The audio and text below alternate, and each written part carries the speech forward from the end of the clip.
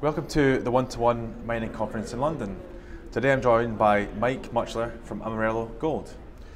Can you just start again with a kind of brief story about your company for those that don't know? Yes, Amarillo Gold, we have two gold projects in Brazil. We have our Mara Rosa development project, which will be going into construction mid-year next year, uh, starting gold production in late 21, uh, full commercial production by early 22.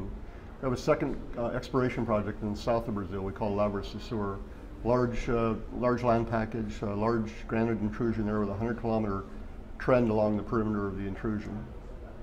And what's your core focus over the next 12 months? Over the next 12 months, we'll be finishing the feasibility study in January, arranging our construction financing over Q1, receiving our construction license in uh, May of next year, and starting construction in July. Perfect. And what's your key message to investors at One to One today? I would say it's a perfect time to invest in Amarillo. We're, uh, we're, we're, gathering our construction uh, equity or construction financing now. We'll be starting construction later next year.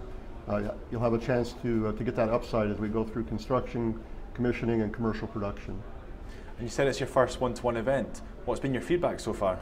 I think it's been a very good event so far. I, I like the venue, I, I like the, uh, the setting, and we've had several good meetings. Uh, London is obviously a good place to come for investors, so I'm very happy with the conference so far. Thank you for your time. Appreciate it. Okay.